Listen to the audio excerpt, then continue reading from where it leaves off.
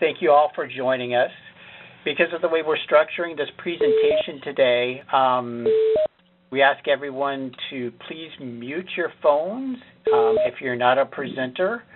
Uh, you know, I am Kevin Kilbride. I'm with the Fish and Wildlife Service Inventory Monitoring Program for Refuges. Um, Bridget Flanders, who was going to do the introductions, unfortunately um, is sick today, isn't able to do it, but she might be out there listening and hope she gets better.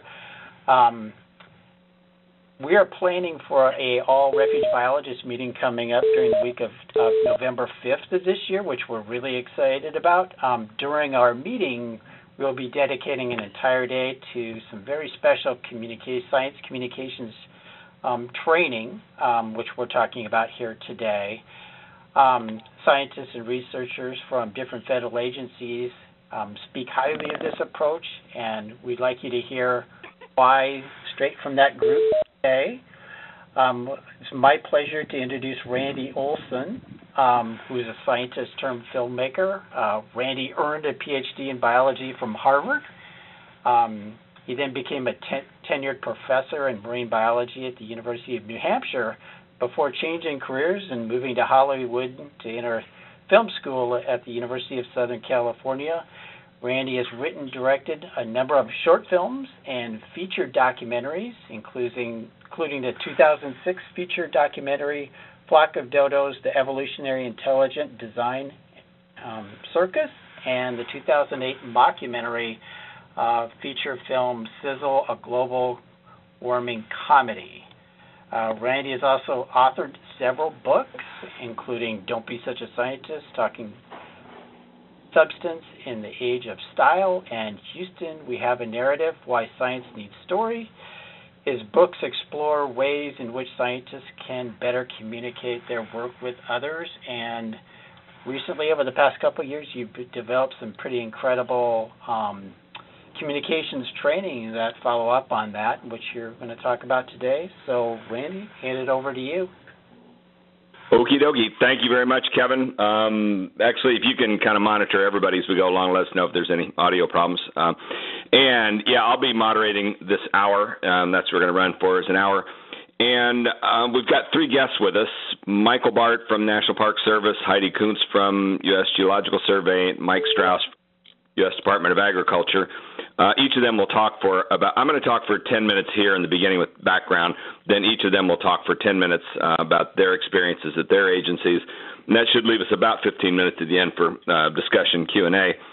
Um, so let me get started here with the background on what this training program is about. And there's three topics I'm going to talk about here briefly. First off, the mechanics of how Story Circles narrative training works. Secondly, um, three of the major attributes that it's built upon and then third, a brief timeline of from the start of it to where we are now. So, uh, mechanics of how this training program works. There's two parts to story circles. The initial part is called a demo day, and that usually takes place in a single day. The number of participants ranges from 20 to upwards of 50. The ideal number we've found is about 35. 40 starting to push it. Um, 50 we've done a couple times. That's just kind of too many to hear from everybody. The demo day usually takes place in a single day. The morning session goes from 10 to noon, and I usually run that. That's a lecture and discussion. That's the only lecture in the entire training program of Story Circles. It's the initial session to lay out what the narrative tools are and some of the basic background. Um, lunchtime goes from noon to one usually, and we try and get one or two veterans of story circles, people who've done the training, to uh, call in or through Skype and or be present in the room and give some uh, specifics of what the experience is like. And then the afternoon goes for three hours, from one to four. And what we do basically in the afternoon is we take the standard one hour story circle session and stretch it out to three hours, giving people time to stop and ask questions and explore and probe and the purpose of the demo day is to make sure that everybody who signs up for Story Circles knows exactly what they're getting into. At the end of the afternoon at 4 o'clock, we pass out sheets and people sign up. And it's not a commitment at that point, it's just an expression of interest. Then the home institution takes all those, and over the next few days or weeks or even months, sorts through them and fi- starts to assemble the circles of five individuals who will then meet for the the real training. That's the second part, which is the actual story circle, and that is 10 one-hour sessions that ideally meet once a, a week, um, which would mean it would take two and a half months. But one of the rules is all five people have to be there for a meeting. So if somebody's out of town, then you postpone a week or two weeks or even three weeks. Um, ideally, circles should finish. If you met every week, it'd be two and a half months. Ideally, three to four months. We like to see them go, but we've had some of them that have gone close to a year. And it's amazing. People, once they're in a circle, their mind is in there and they stay focused on it. And we've done, we'll do our 40th circle in the next couple months, and uh, we've yet had a circle fall apart, which is really nice. And that's because of this kind of weeding out process that goes through with the demo day to make sure everybody knows what they're getting into. Uh, second, I want to go through three of the basic attributes of the training that it's built upon. First off, the training is different. It's unlike any other training that you'll find for communications training, uh, and that's because it comes out of my journey from science to cinema and back to science, as Kevin talked about. In particular, it comes from uh, especially the acting classes that I took my years in Hollywood, uh, Meisner training and improv training, and that's part of what the the core philosophy is built around is the in improv training they like to say that improv is like a muscle that you need to condition over time. That's sort of what i adopted to this which is the idea that narrative is a muscle that you need to condition over time. And the idea that a one day workshop just really isn't going to do much any more than going to the gym and lifting weights for one day will do much for you. It's really it's about conditioning.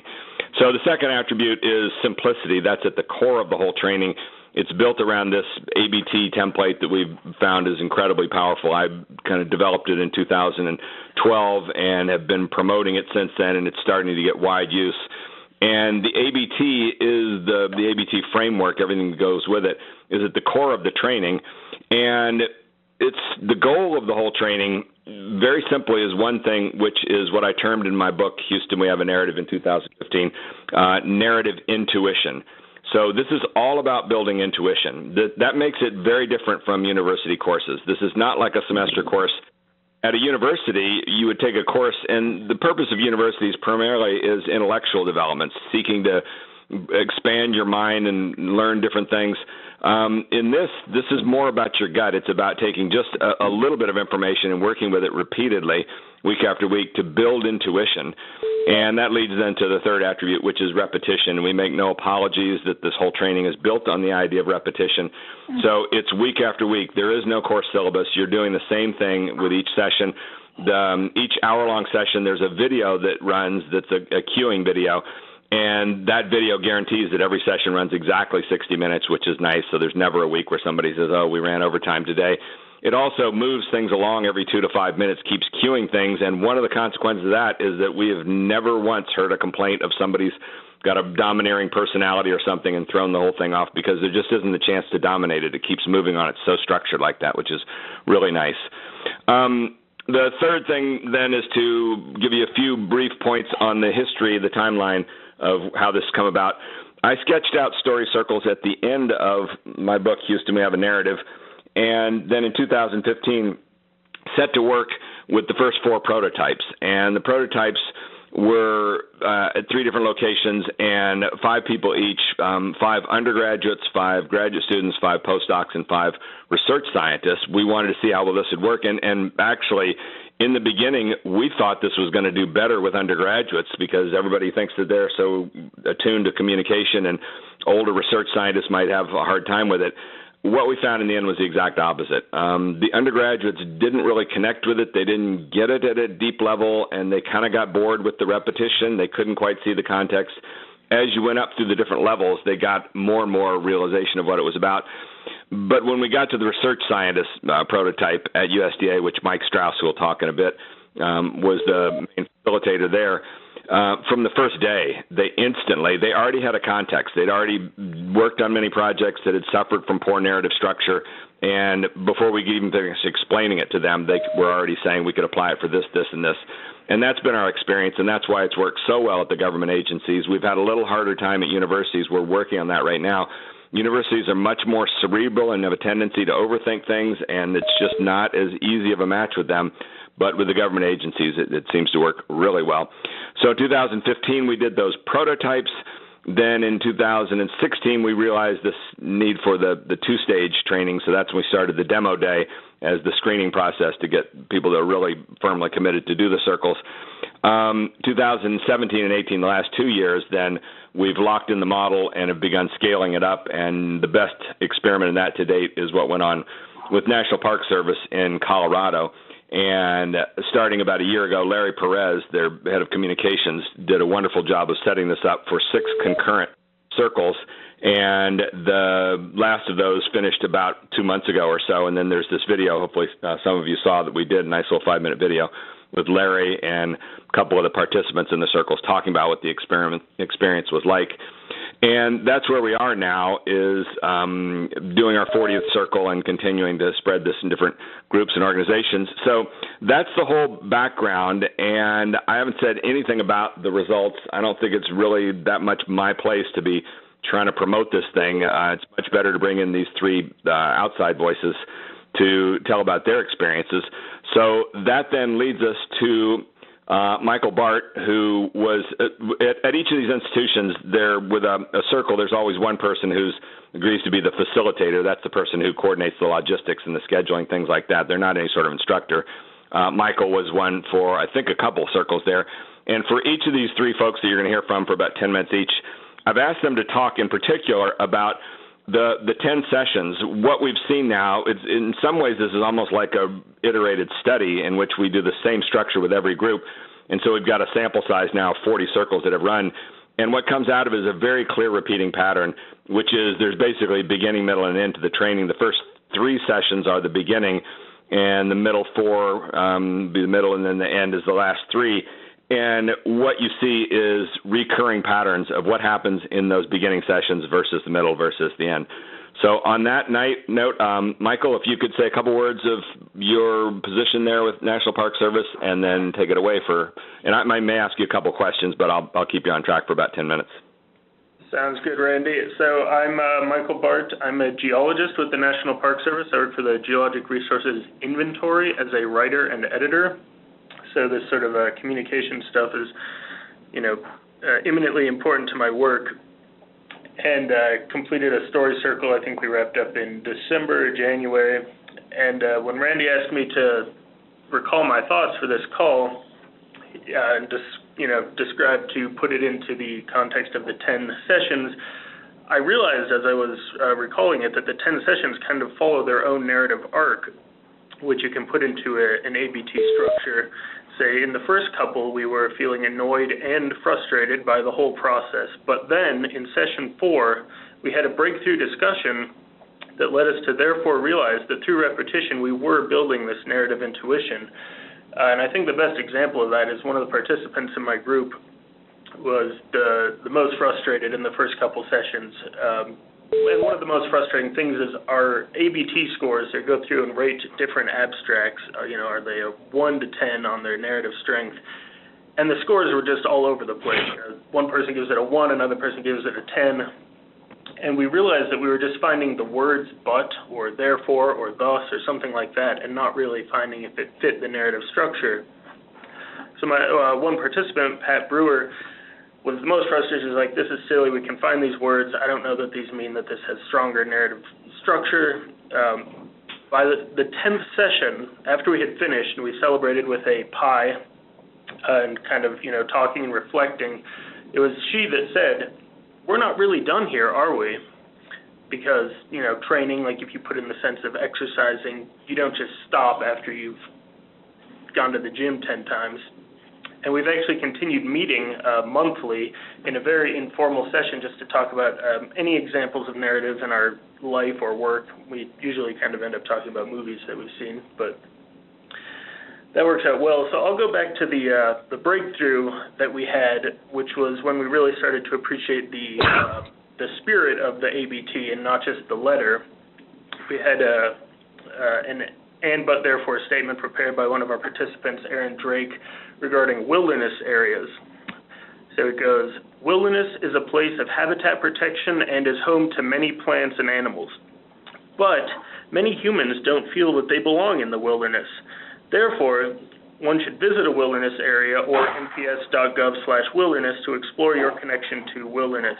And this triggered a really interesting discussion on the uh, Facebook group and in our circle because uh, everyone can agree, so the and is an agreement, that's important. Wilderness is a place of habitat protection and is home to many plants and animals. Yes, everyone's nodding. But many humans don't feel that they belong in the wilderness, and that immediately kind of triggers, well, wait a minute, I feel like I belong in the wilderness. Uh, so the but is very visceral. It's not just the word, it's actually like, wait a minute, what do you mean? And then the therefore leads you into the uh, you know, the point, which in this case is to go visit the website, go explore a wilderness area, learn more about it essentially. And that got us to appreciate that it's not just the presence of the words and or but or therefore, but it's the, the function of the agreement, the contradiction, and the conclusion uh, that makes uh, the narrative strong. Let me see, I guess uh, to touch on some of the uh, advantages or the experiences from the circle. First, uh, uh, to echo what Randy said about the facilitator position, is entirely uh, not a leader of the circle. In fact, the circles are set up so that there's a variety of roles: story presenter, the timekeeper, etc. And uh, those rotate each time, so no one person is in a leadership position. And my role as facilitator was entirely the herding cats aspect of making sure that everyone had an hour free in their schedule as often as possible, which really led to the autonomous feeling of the story circle. We were all kind of learning at the same time. There was no single person teaching or instructing or saying this is right, this is wrong, which in the first couple groups, uh, first couple sessions, reading through the abstracts and writing them, we definitely found ourselves feeling, well, it'd be great if Randy had provided an answer key or some sort of, uh, you know, are we doing this right? By the end of it, we were glad that there wasn't one because it actually forced us to learn the, the process on our own and learn the uh, narrative elements that we were looking for on our own, which I'm sure you all agree if you learn something on your own versus being told that you actually learn it a lot more uh, effectively.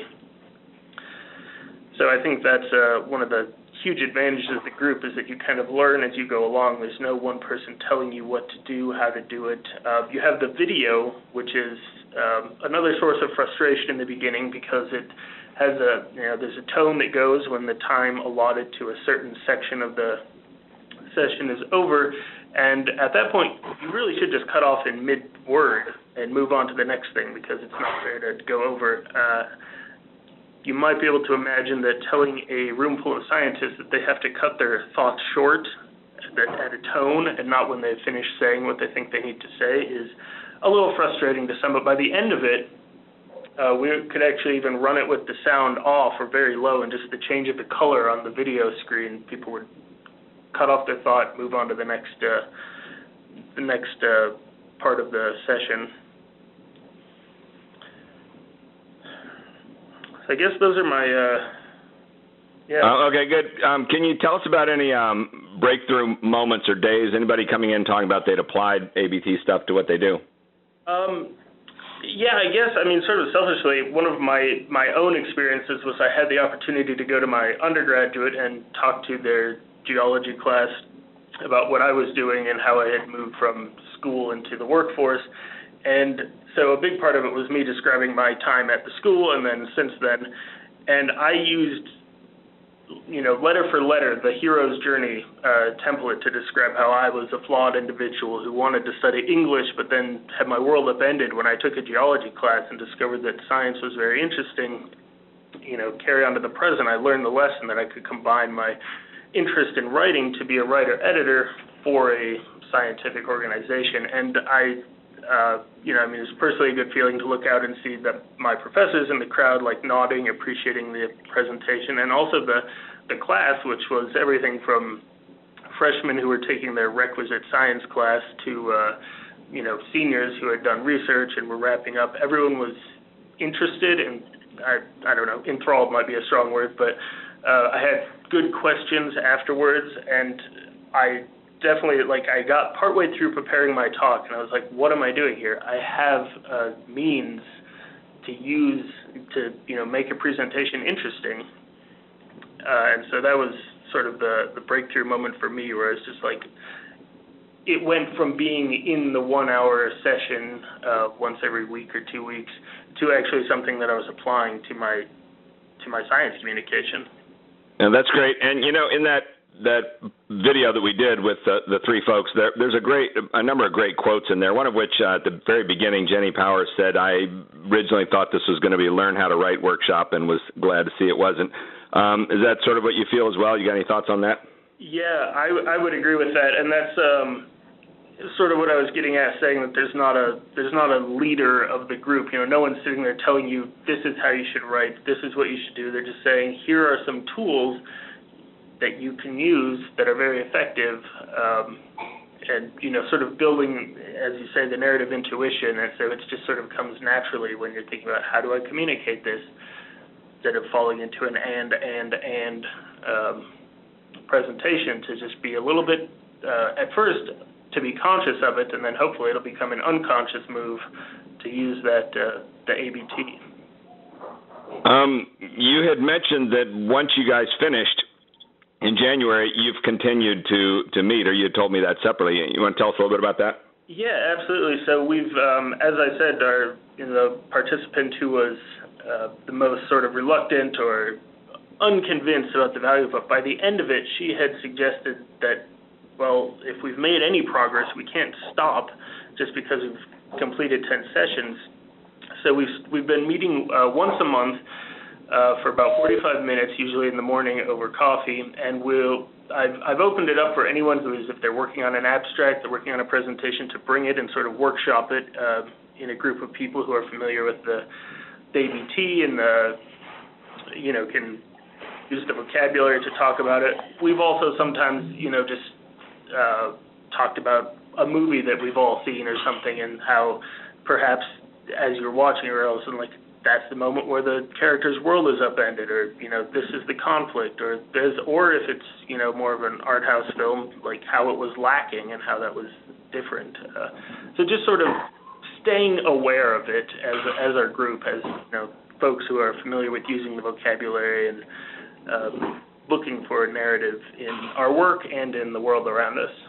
That's that's really wonderful, and that is kind of the dream vision I laid out in the book. Was the the other term I had was narrative culture, the idea of institutions in which we'd start to create these little pockets where everybody could speak this language of the ABT framework, and um, and you see that difference. And in fact, I heard the same thing I think from the USGS circle that ran as well, uh, which then leads us to Heidi and um, now for the next 10 minutes, Heidi, how about if you do the same thing, give us a couple words of introduction and take it away and, and also run through those beginning, middle, and end elements of your circle.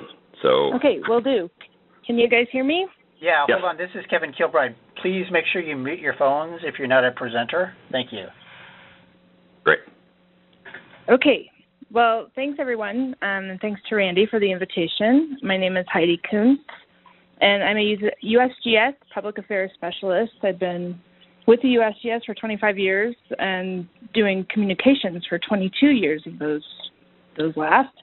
Um, my job then is to translate science. So media wants to pick it up, and so scientists aren't mad with the end product. Um, and then so the general public can understand and appreciate what we do and keep funding us. Um, so demo day I was invited to participate, and I thought, cool. I'd love to get some tips from a former scientist turned filmmaker, um, and so I can like get him to back me up on what I'm trying to get my scientists to do. So I thought, cool. So and I was invited to participate. It was like he was preaching to the choir. It was great. So then the invitation came for me to participate in a story circle that someone dropped out of, and I thought, well, I don't know if I have time to do this. Um, but why do I, a professional communicator, need this? I mean, I have a BS in journalism. I know how to write, and I think I know how to write, um, and I think I know how to communicate and translate. So, whatever, I'll go ahead and do it because it was a, a very kind invitation, and I thought, well, you know, I can always brush up on my skills. And oh, how right I was. Um, Story Circles has actually just helped me find more time in doing my job and to better translate these science stories that are coming out of my agency. So I'm going to borrow from Randy's gym analogy um, for the um, sessions one through ten. So sessions one through three, it was like the first day back to running um, on the road. So I hated it. You know, after you're you're not practiced for a number of of months or weeks or whatever running, it's always hard getting back into it. Um, these people that I was working with um, in the circle, they were all from very scientific um, genres, and that was great because I thought, well, cool, they can, you know, I can kind of talk to them in their language, and then we can better understand each other. Well, that's not how it went. It was we were fighting. I mean, I think some of us were cursing at each other after the first section, but um, ultimately, you know, we got through it. And then sections four through six, we kind of finally hit our stride. We got over some of our pride issues. Um, I got over mine because, you know, of course, I was the writer, and so how was a scientist going to tell me how to write and um, rate my abstract? Um, and then finally, um, we were on such a roll we didn't want to stop, and thus we're on a virtual narrative marathon together. And we each contact each other um, here and there. We don't have a formal setup as Mike does, but we do get together and collaborate on different uh, journal articles that are coming through. I even contact them about some news releases that might be coming through. Um, so it's been a very worthwhile practice, um, and it's been something that that I strongly encourage um, scientists who are seeking news attention to employ when they're they're trying to talk about their product. And, and you had said that um, the other four members of the circle were all scientists, right? Correct. And I think you'd mentioned that has sort of turned into a resource for you now that you speak a common language with these scientists when it comes to communication. Absolutely, yeah. And so I have a cadre of communicators that I regularly work with, but these scientists have also become my go-tos um, because the communicators, while they they know of ABT, they don't they haven't all practiced it and haven't done the story circles, and so it's not as effective. I don't think um, when we're trying to to roll through something. I mean, they get it. It's a very simple style. That said, it's really hard to employ until you have done that workout, until you have ran that mile and then you know trained for a 5K or a 10K. It it takes time and practice. And do you remember any sessions, uh, any individuals starting to have breakthroughs or starting to get in any, any transitions like that? Yeah, I remember there was a time where there was a scientist who was uh, putting together a journal article to submit, and um, it had been denied a couple of times, and she sent it back through to us, and it was very clear that it was just and and and and and, and then all of a sudden her conclusion or her big aha moment was buried in the middle, and she hadn't been able to see it until she was actually reading it to us, and she said, "Oh my God, I had no idea. Like I put the the meat at the very bottom, and it needs to be." You know closer to the top and like she came to the moment um of realization herself it wasn't us like having to tell her and land based her it was it was a, a self realizing moment. And I can't remember the exact topic. I think it had to do with um, ecosystems and um, some kind of furry mammal, um, but cute furry mammal. But it was it was something about their habitat and how it was impacted by human development and X, Y, and Z. But the I mean the real meat was at the bottom, and she didn't. Um, she made that aha moment on her own, which was great.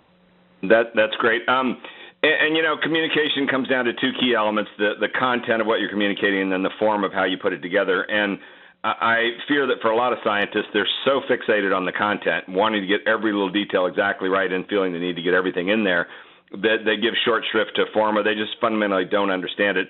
Have you seen a little bit of a shift, um, especially with those four scientists, that they've begun to realize there's more to communication than just getting everything exactly right? That this form stuff really is a large challenge. Oh yeah, for sure. Um, and I think that they've had more success in getting their articles accepted. Um, they don't need to be as detailed. Um, they really just need to hit those key points, um, tell the story. The and button are there for. This is what it is, but this is why this is happening. Therefore, this is what we need to do. And so that really it really helps spread the scientific word farther and wider, especially now when science is not such a hot media topic. Great. Um, okay, and let's see. Before we move on to Mike, uh, you got any last comments, or we'll we'll come back to you in the Q and A. Um, you can just come back to me in the Q and A. It's just it's great. It was a very worthwhile endeavor, and I highly encourage you guys to pursue it. Okay, wonderful. Uh, and now, Mike Strauss, I'll give you a few extra minutes because you've played a major role. Mike's been sort of a co-developer of this whole uh, program uh, along the line. And actually, one of the bizarre things is that he is the world's expert on how story circles actually run because uh, the truth is, I've never been involved in a circle. I've never really checked in on all the sessions. He's organized around 15 circles at USDA he, for 12 years, was the director of the Office of Science Quality Review at USDA. Uh, retired in January this year, but four years ago um, tracked me down for a, a talk at one of their society meetings, and then became a fundamental part of all this. So he's the guy more than anybody else who's really seen how these uh, circles work. So on that note, um, Mike, why don't you take it from there and say a few more words of background about your involvement? Well, thank you, and I, think uh, uh, both both Michael and Heidi have touched on a lot of the basics of this. I want to review a couple of things real quickly and tell you a, a couple of short stories of things that, that we saw. Uh, in terms of breaking down from the beginning, the middle, and the end, I would say that that in the beginning is finding your way, uh, and and Heidi's correct that that that there is, and and Michael is too, that there is a, a lot of annoyance uh, when I ran the first uh, the prototype circle circle with USDA people, uh, I remember I think it was the second session. Um, they uh, the group got pretty angry and they uh, sort of looked at me sitting in the back of the room and said, "Why isn't Randy here? Why won't he answer our questions?" We and they and they they actually uh, we were taping their entire session because it was a prototype we wanted to see. And when they realized Randy was was going to possibly see it, they started accusing him of leaving them alone, and they were pretty angry about it. Um, and it was a little frustrating. Um, I sent Randy a text, unbeknownst to them, in the back of the room, and said, "They're getting lost. Can I help them?" And to my great surprise, the answer I got back was, "Absolutely not. Let them go." And uh, I didn't say anything by the third to fourth week, people suddenly started to feel more comfortable with the material. They started getting it. Uh, that's led to us assuring people that they will be frustrated, but to keep pushing through it. it that it's in that frustration that you really start learning. Uh, weeks five to seven, I would say, is building skills. Now that you're uh, uh, now that you you've got the basics, and in eight to ten we we start pushing you to apply it a little more. Uh, to tell you a little bit about what happened in that first session, because it's a good um, uh, example of what happens in a lot of, of other sessions. Of the four people, uh, two of them had to organize a after that session was over had to organize a uh, presentation on a, a, research program on plant disease that covered about 50 to 60 multi-million dollar projects, and uh, they typically uh, produce a 100 to 150 page report. They take it out to outside reviewers who spend two days talking about it and ultimately de- go through it in, in pieces. The two that attended our uh, story circle went back and said, "We want to try something different. We want to use narrative, and we want to present this as a series of PowerPoint talks, brief PowerPoint talks, and they worked over it uh, for several weeks, presented it to the outside committee, and then said, "Now we'll write up uh, our 100-page report." And the committee looked at them and said, "Don't bother. We already know everything that you're doing. This is wonderful." Uh, and it, it, it shortened their work and made made it much more impactful. Uh, one of the others uh, has a, a lab where she does a lot of of um, presentations to outside groups and had a number of, of videos that were guaranteed to put people to sleep, but you could watch them through it. Uh, I went over about three months after uh, she finished story circles, and all of her videos had been redone into tight ABT structure, and and people sat there that we took uh, took over, sat there and listened through them, and really came away from that lab with a better understanding of what they were doing than any of the other labs they visited. And I think that the top, from my point, was uh, one of our one of the other people who went back to her research group and said, "I have a new way of writing our project." Their project was seven full-time scientists. It covered everything from um, uh, chemical relations and water relations to remote sensing, all on the Chesapeake Bay. Very complex project. I look back historically over the previous 10 years, and every time those projects came up for review, they they failed review initially and had to do a lot of work to to rebuild it. Uh, she came into her group and said, "We're using this narrative structure to write our project." Uh, they worked for hours and hours discussing, developing the narrative, and then translating it into about a 70-page project plan that was narrative throughout. Uh, and they got a perfect score. Uh, it was probably one of the best projects that, that we've ever seen go through review, uh, and largely because this huge complex project was reduced in complexity through the, the narrative structure, so it didn't lose anything in the detail, but it, it, it came out in a very logical and organized way. And then, Mike, can you yeah. jump back in time now a little bit before you and I met the study that you had done there that really kind of mapped out already what the problem was that it turned out I was kind of the solution coming along with with this stuff. Yeah, what we we had done a study um, several years before and asked uh, when I came into the the agency uh, about 70 73 74 percent of our projects were making it through review with little difficulty, but there was 25 to 28 percent that were having significant difficulty. And the more we tracked them, the more we realized the number was going down. The, or that the, the number that was doing uh, poorly was was going up. The number that were doing well was going down. Um, we were a little disturbed about it. We uh, looked at it and concluded that what was needed was to to do, do more training in how to write a project plan and what to do. And I remember in, in developing one of the videos that we used, one of the things we kept saying to people was, your project needs to have a thread that carries it through the entire project. You introduce that thread at the beginning and you carry it through the entire project to the end so the reviewer understands it. But we didn't know what that thread was. Uh, I didn't have anything. And when I met Randy, uh, and started listening to narrative, what we realized is that the thread that we were talking about that we couldn't quite identify was narrative structure, and it was the need to build it in narrative structure.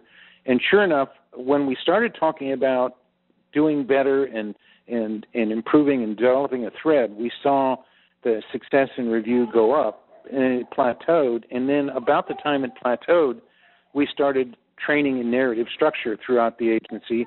And in the last few years, you can see as that has started to spread through the agency, that that, that plateau has turned into another upward curve. And as I retired from USDA, uh, the 72% doing well in review, instead of going down, had gone up to uh, 88 to, uh, to 90% doing well in review. So we really have seen a lot of benefit from that uh, in terms of, of, of, the success of review.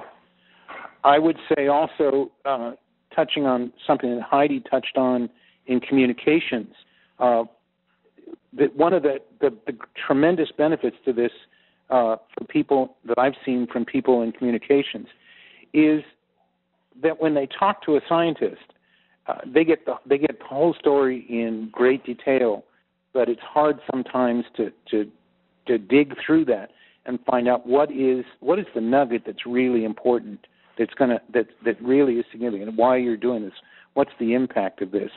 And the scientist uh, often is difficult it's difficult to do that uh, to, for them to articulate that. Heidi can probably agree that there have been times when she's talked seemingly for for an hour or more with someone trying to dig through all of the data to find out what is the nugget that, that that's really important. Where's the, the piece in this story that, that I can hang everything on?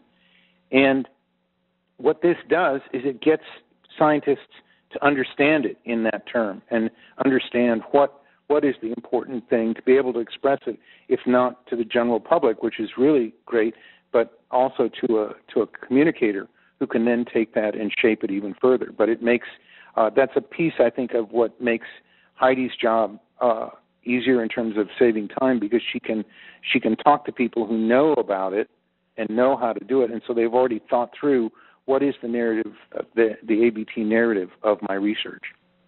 Um, can you say a few words about the social dynamic? Um, tell that little tidbit about the one year you did the survey and asked people how many people had read their proposal before they submitted it. Yeah, yeah. This this was this was um, this is the other benefit of it, and and uh, I made a note here about it. That one of the, the benefits of of this whole thing is it gets people to start talking together.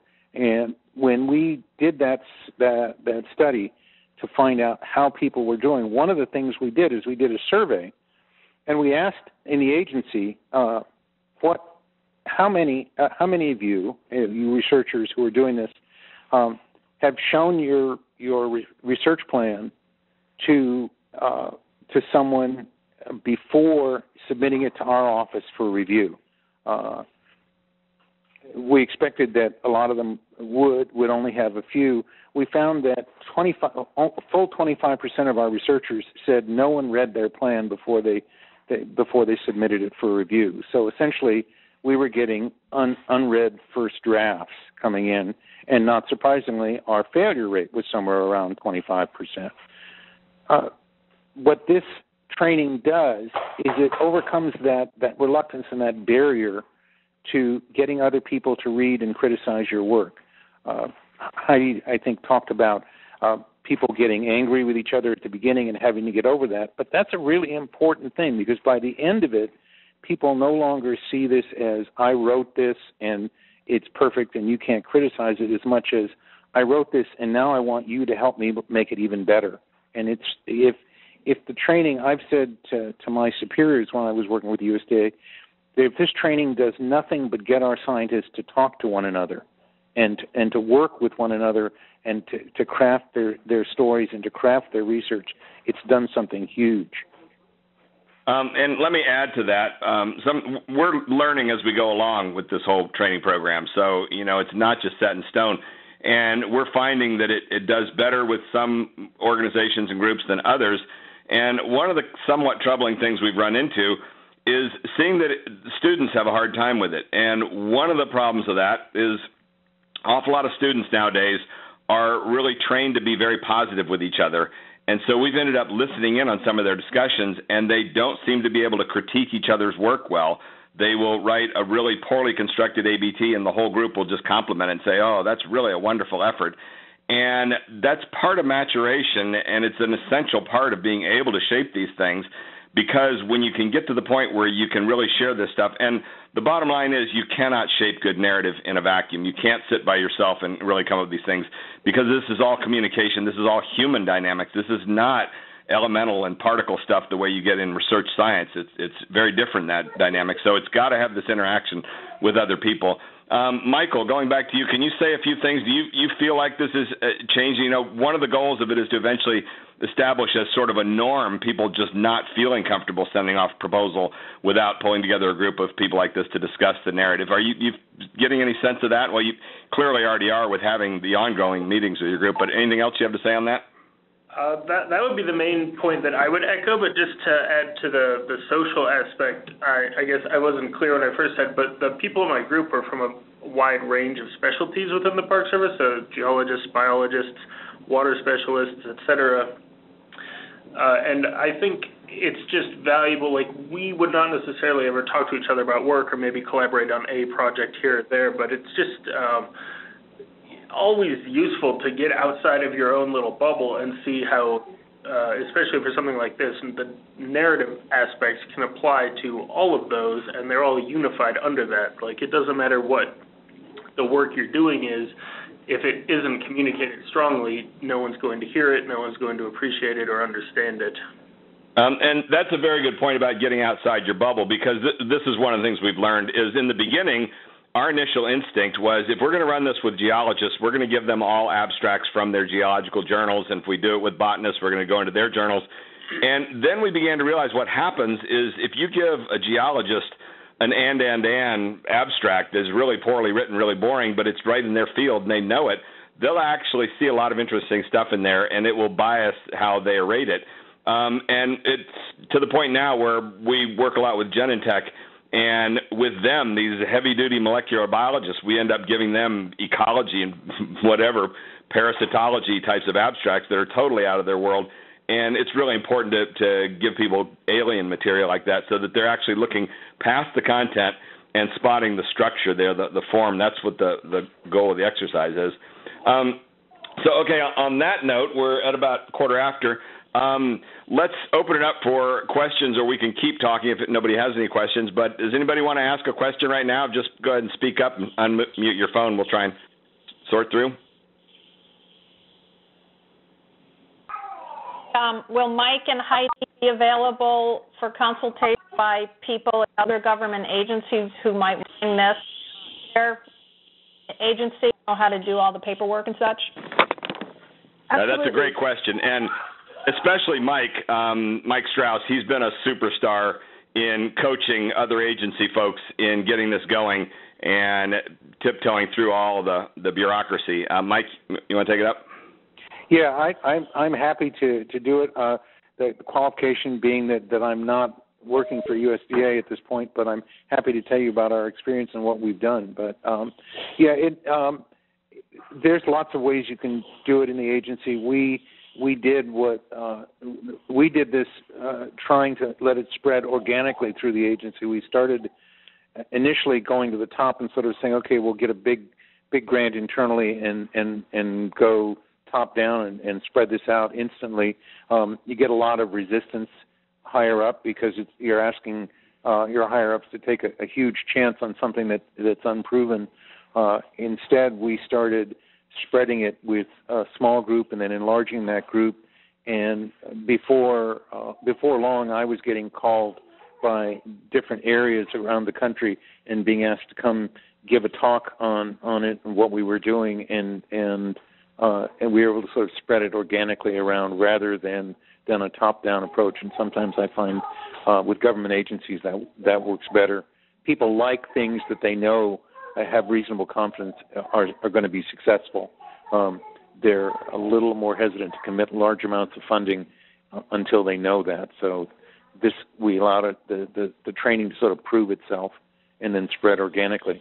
And, and to that very point, um, just to sing his praises a little bit further, Mike just did a brilliant job the last four years in innovating and basically knowing how to navigate the waters to make this stuff work and to go to the right people who would understand it, which is always a challenge. And um, he was with the Agricultural Research Services (ARS) within USDA, and it's kind of funny because I talk to a lot of people and I say that we we kind of incubated this with USDA, and they're kind of baffled, like that doesn't sound like a very innovative organization, and yet within ARS they are very very good, and then Mike's skill beyond that. So he's got a lot of practical knowledge to share in terms of how to get something like this going. Um, another question from anybody? Hi, I was wondering, um, do you find it best that the people in the circle are all in the same area uh, in terms of in-person um, meetings as opposed to distributed folks? Uh, great, yeah, great question. First off, you know, we forgot to mention that all the way along, which is that um, early on we we did the first four prototypes with USDA. Then Mike set up two in Fort Pierce, Florida, and one of them we called it local. All five people met in the same conference room for all ten sessions. The other was five people throughout the southeast uh, U.S. and they did remote and they met through teleconferencing. And by the end of that, we Mike in particular was in on every session, and he just really felt like there was no difference between. This is all so vocal that that was the start of us doing these remotely, and so that's become fundamental part of the process. Is it works? It seems to work just as well whether everybody's um, remote or present, and it even works great just over the phone for the most part. I think it's it's helpful and valuable, uh, ideally, for everybody to meet each other at a demo day in the beginning, have a little in-person contact, but then once it gets going, uh, Mike, you want to say more on that? Yeah, I, the the remote session at Fort Pierce, and we've done several since then. Uh, uh, we had, did one in the West that had somebody from uh, Hawaii, a couple people from Utah, and some people from Southern California. So it was uh, quite quite spread out. Um, initially, our thoughts were that we would need to get uh, a, a web and phone connection so people could see each other. Um, and as things worked with the Fort Pierce group, uh, we were just never able to get everybody connected by by get their their audio their video connected. Uh, some people's video didn't work; it didn't work as well. And in one case, uh, the whole uh, internet side went down, and all we had was telephone. And about halfway through, we realized it really didn't matter uh, as long as they had an audio connection uh, and a phone connection. That's all they really needed. Uh, I think it's it's important for them to all sort of met each other and know each other at the the demo day, but they don't have to have any tremendous knowledge. They just want to sort of meet and, and greet and talk talk together uh, briefly at a demo day. And if they have that common uh, background, then uh, just a phone connection with five people works fine. And we've we've sort of dropped trying to put the the, the video into it.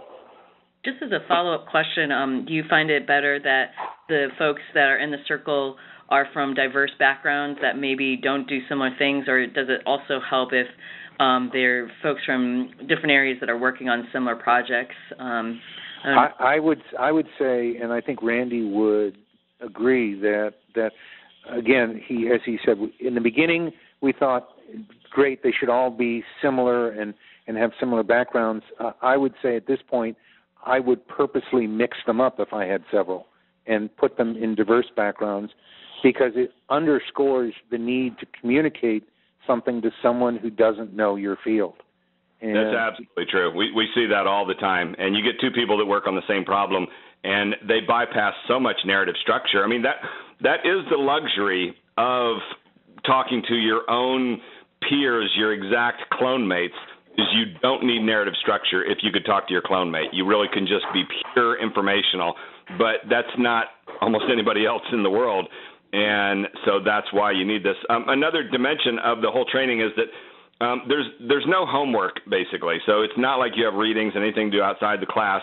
Um, the one thing you do is every five sessions will be your session where you send your narrative one to two paragraphs to everybody in the group and that's what will get worked on within the group and intentionally you're not meant to do much work on that narrative it's just write down two quick paragraphs and in the in the session in the second half hour everybody will use the narrative tools to work with you to try and start shaping the narrative but the interesting thing that happens is there's no out there's no outside homework like that and yet everybody reports thinking about this the stuff on and on and on. The ABT gets stuck in your head. You start spotting it everywhere in the landscape, and that's what's kind of cool. And I mean, Heidi, is that not the case that people start thinking ABT night and day?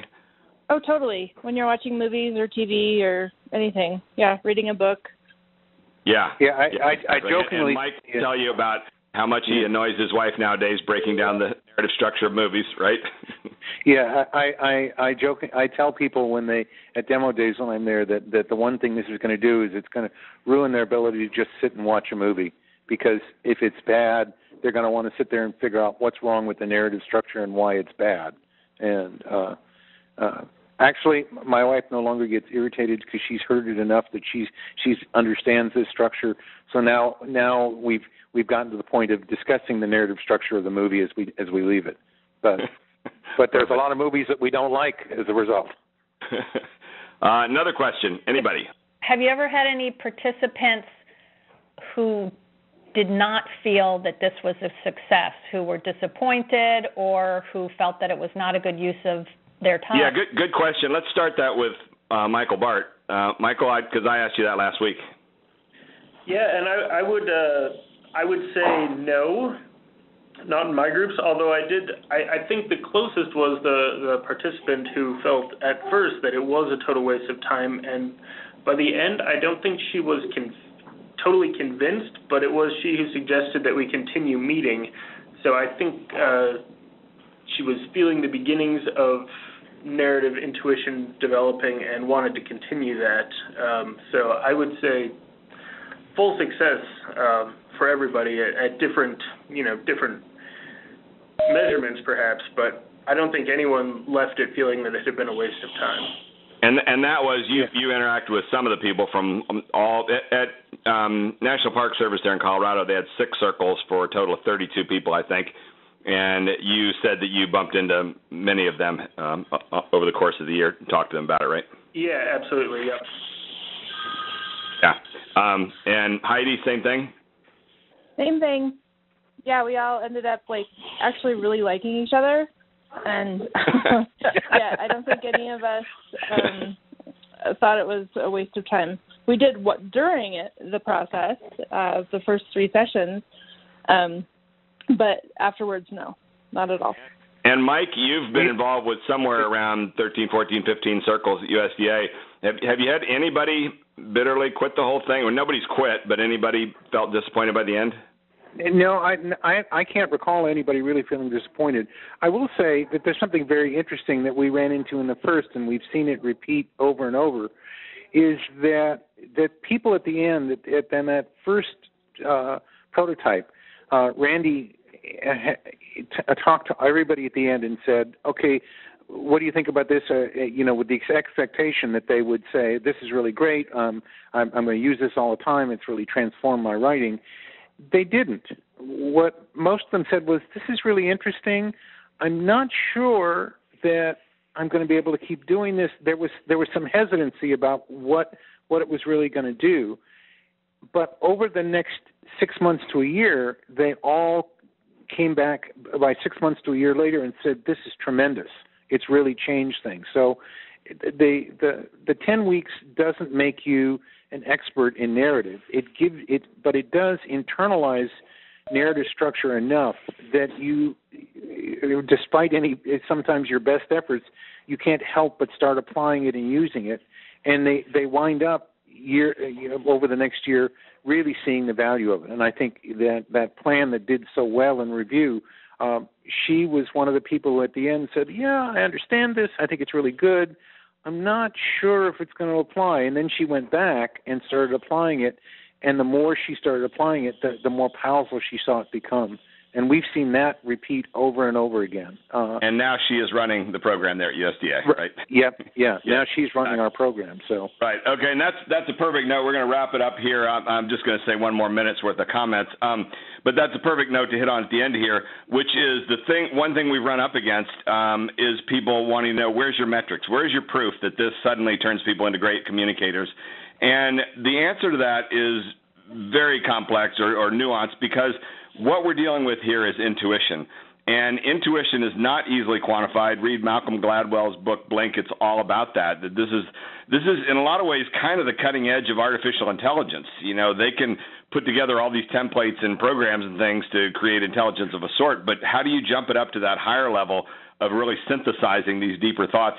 And this is what Michael talked about at the beginning that he told me about last week that I found so fascinating was that they actually saw that jumping off point where they switched from going through the abstracts with a checklist of looking for the words and, but, therefore, to beginning to intuitively feel, wait, those three words aren't even in this paragraph, and yet it's perfectly structured. They've used other words or whatever. That's when you begin to get the intuitive feel. And that's essential for being able to communicate because, just as another little analogy, um, for example, playing chess, you can go to websites and they can teach you the first five to ten moves in a game of chess but they can't teach you much beyond that because there comes a point eventually in a chess game where you the template is no longer any good. You've got to have the intuition to actually understand what the opponent's doing and what moves you can make. And that's the same thing that goes on with story circles, and that's part of the problem that we ran into with with graduate students and undergraduates, where they never got beyond thinking this is just about three words and but therefore. Um, in that AAAS video, I talk about how the t- the ABT template it's both template and tool. It's the workout um, device that helps you start to build this narrative intuition, and that's the ultimate goal. So that's why there is still at this point no simple metric that, other than the fact that we've run 40 circles and people get it, and you, that's why I wanted to do this discussion right now so that you could qualitatively hear these comments on on how it works. And I think that's all the time that we've got for this today. So. Kevin, thank you very much. Maybe let us know where this audio will be posted, um, and that will wrap it up. Absolutely. Thank you very much, Randy, Mike, Michael, Heidi. Thank you very much.